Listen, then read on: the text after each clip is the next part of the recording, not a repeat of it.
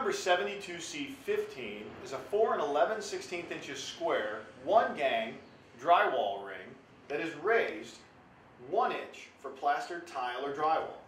You simply mount this product on a 4 and 11 16 inch box by sliding it over the box screws and directly into place. When tightening the box screws, you get a good secure fit between the box and the cover and a perfect opening and threaded holes for any plug, receptacle, or switch.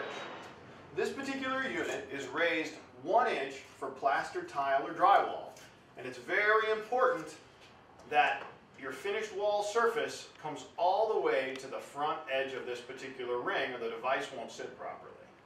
For these and other great products, visit us online at garvinindustries.com.